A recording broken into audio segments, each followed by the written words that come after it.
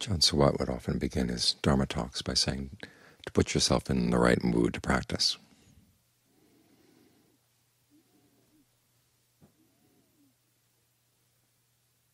In other words, don't anticipate whether it's going to go well or not going to go well. Think in ways that will help it go well.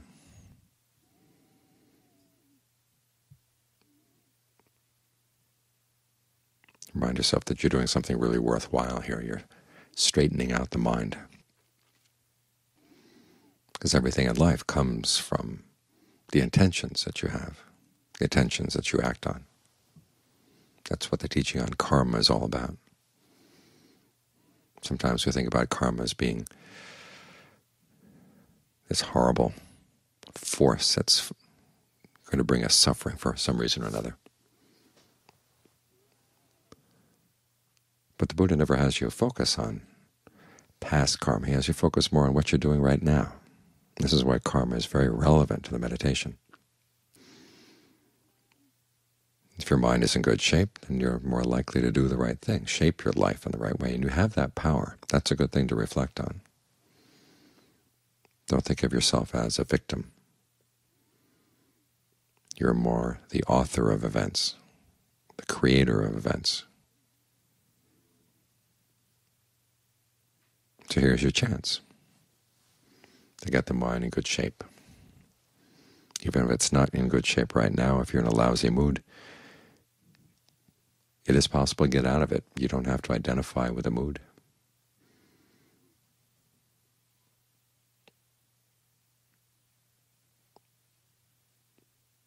Think of all the good things you can do with a trained mind, and here's your opportunity to train it. There's so many people in the world who don't have this opportunity. They never heard of the Dharma. They don't have the time. They don't have the energy. Here you've got the Dharma, you've got the time, you've got the energy. Right there is something good. The Buddha talks about gladdening the mind as part of the meditation.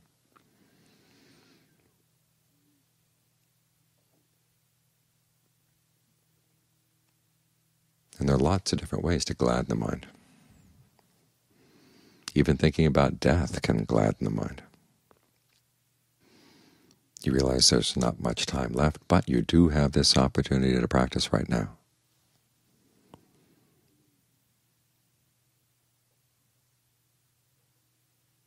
Thinking about death reminds you of how important this is right now. You've got this moment.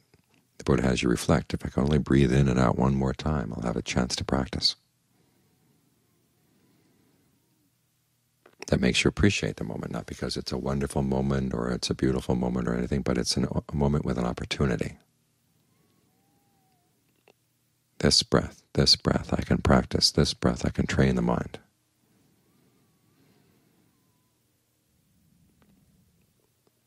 That gives you energy. There are times when you're feeling down in yourself, you, as the Buddha said, you can reflect on your virtue, you can reflect on your generosity, you may say, well, my virtue isn't all that great. Well, think about the times when you did do something virtuous, when you didn't have to. The times you were generous and you didn't have to be.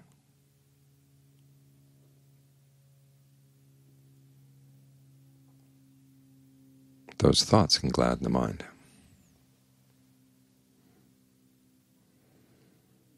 Of course, there's the the Buddha, the Dharma, and the Sangha.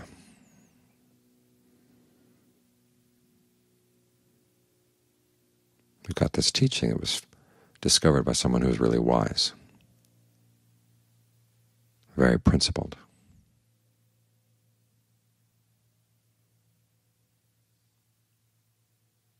He'd attained true happiness and didn't need anything more for the sake of his own happiness.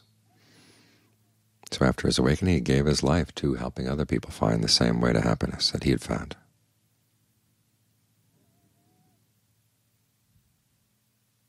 It's rare to find a teaching like that, rare to find a teacher like that. Yet here we've got the opportunity. We've got all those members of the Sangha, the monks, the nuns, the laymen, and laywomen who, following the Buddha's teachings, came to awakening as well.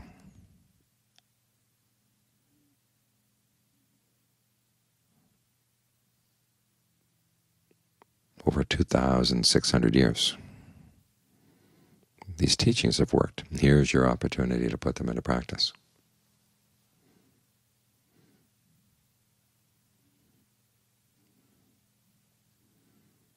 So put yourself in the right mood. Then continue it by the breath.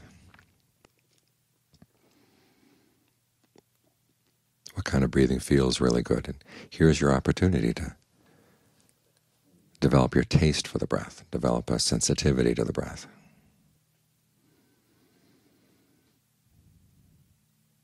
This is something else you can do to glad the mind.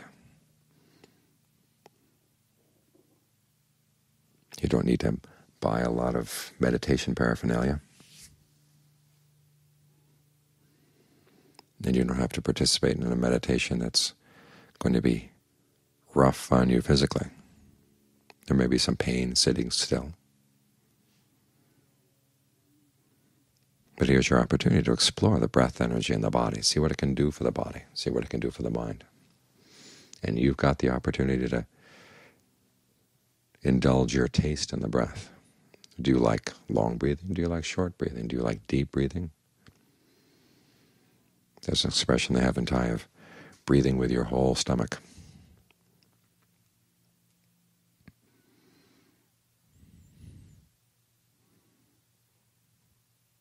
So try breathing with your whole stomach and feel, see what that feels like.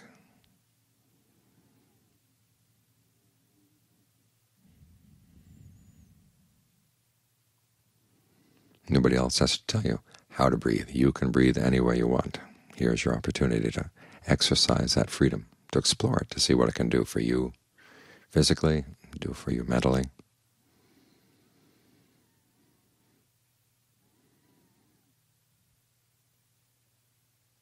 This is free medicine. This is the breath. Energy flows well through the body helps the circulation of the blood. The circulation of the blood brings nutriments to the cells.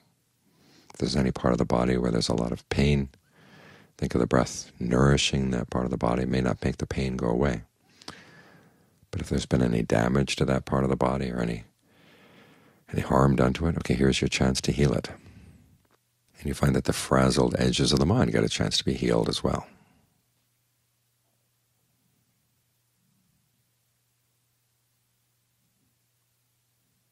So do what you can to put yourself in the mood and then maintain that mood.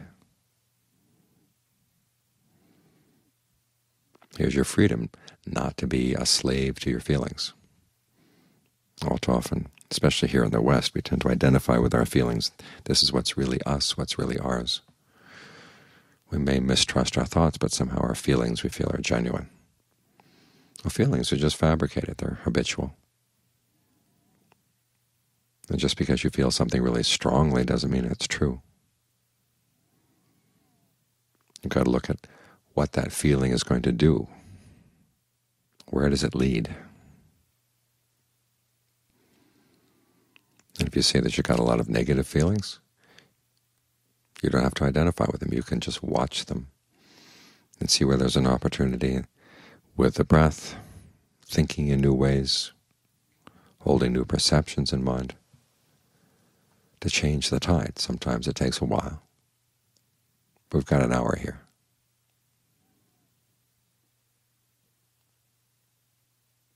So learn to step back from any negative feelings realize you've got freedom to develop positive ones in their place. After all, as long as feelings are fabricated, why not fabricate some good ones? Develop new habits. If you find yourself habitually negative in your attitude, and if having a good mood or being in a good place emotionally doesn't feel right, it feels false, remember the negative attitude feels genuine simply because you're so used to it. It's like someone who's been wearing shoes that pinch your feet. All of a sudden you get really comfortable shoes and they don't feel right because you're used to being pinched but only a fool would go back to the pinched shoes. Learn how to adjust yourself to shoes that are really comfortable.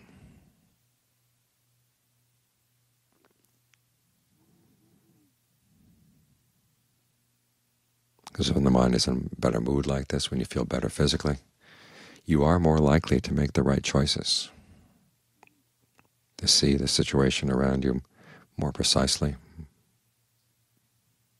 more accurately.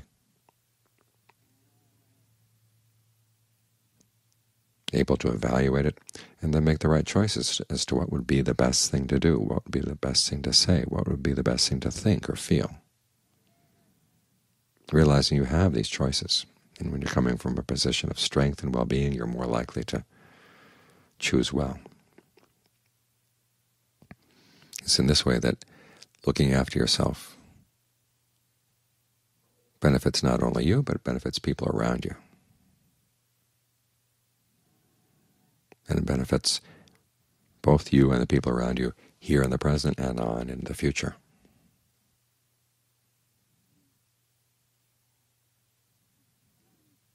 You've got this freedom. Try to make the most of it.